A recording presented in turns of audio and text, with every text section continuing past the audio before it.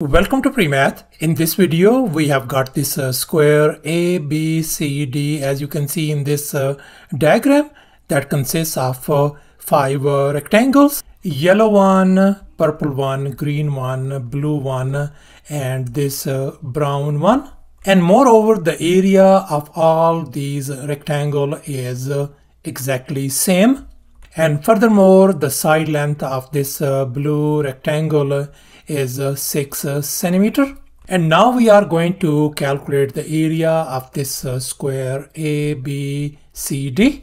Please don't forget to give a thumbs up and subscribe. Let's go ahead and get started.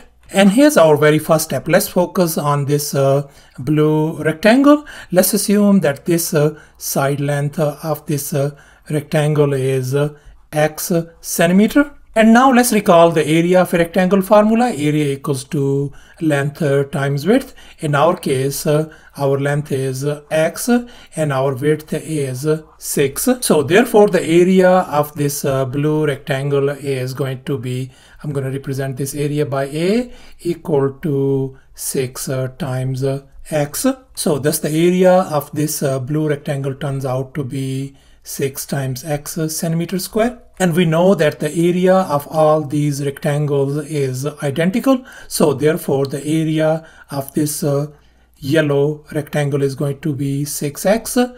Area of this uh, purple rectangle is going to be 6x. Area of this uh, green rectangle is 6x.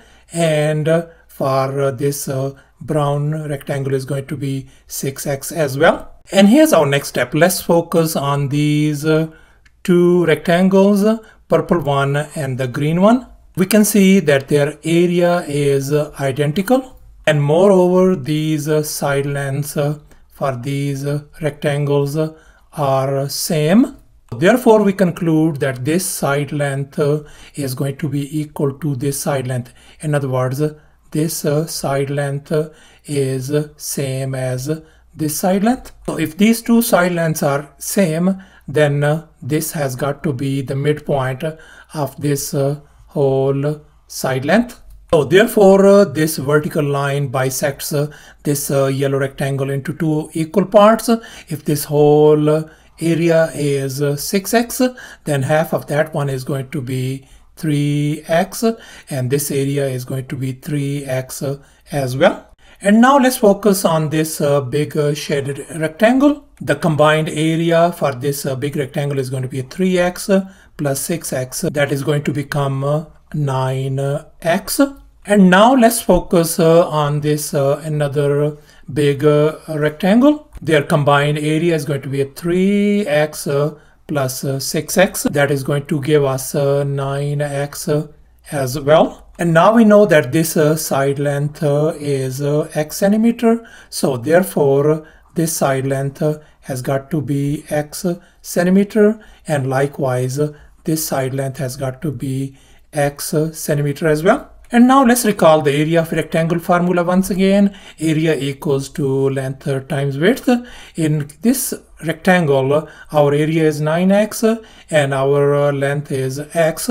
So therefore, this uh, width has got to be 9 centimeter and likewise for this uh, next rectangle our area is uh, 9x and our length is uh, x so therefore this uh, side length has got to be 9 centimeter as well so thus we can see that the side length of this square ABCD turns out to be 9 plus 9 plus 6 uh, centimeter. And if we add all these three numbers, that is going to give us 24 centimeter. So therefore, this side length of this square ABCD turns out to be 24 and since we are dealing with this square so this side length uh, this whole one is going to be 24 centimeter as well and now let's go ahead and calculate the area of this uh, square ABCD and now let's recall the area of a square formula. Area equal to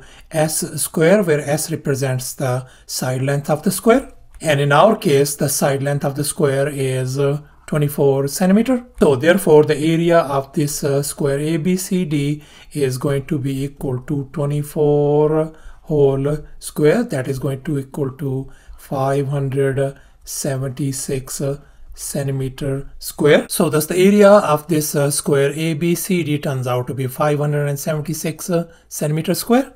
Thanks for watching and please don't forget to subscribe to my channel for more exciting videos. Bye.